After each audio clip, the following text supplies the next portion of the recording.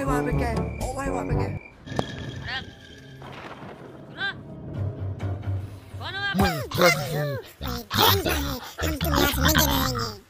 अबे साले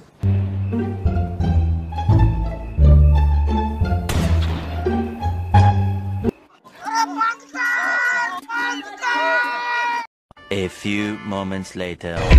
I got broads in Atlanta. Just to the lean the family. Credit cards and the scammers.